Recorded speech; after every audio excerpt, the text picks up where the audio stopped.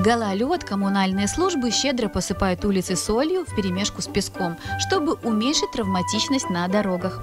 Образуется снежная каша, которая, высыхая, оставляет на обуви неэстетичные солевые разводы, вывести которые бывает не так уж и легко. Вот несколько лайфхаков, которые помогут их ликвидировать. Придя с улицы, промойте кожаную обувь теплой, но не горячей водой. Затем оберните испачканные места бумажными полотенцами и оставьте сапожки сушиться. Проступающая соль будет впитываться в бумагу.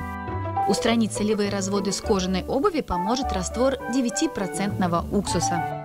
Соедините уксус с водой в пропорции 3 к 1 и протрите загрязненные места этим средством.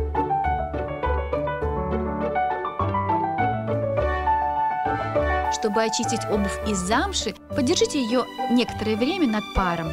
Затем смешайте столовую ложку нашатырного спирта со столовой ложкой теплой воды.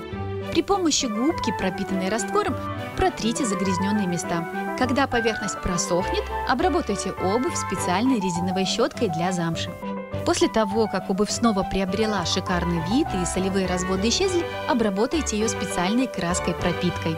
В жизни женщины должно быть место шпилькам, которых сложно ходить, но на которые легко нанизываются мужские сердца.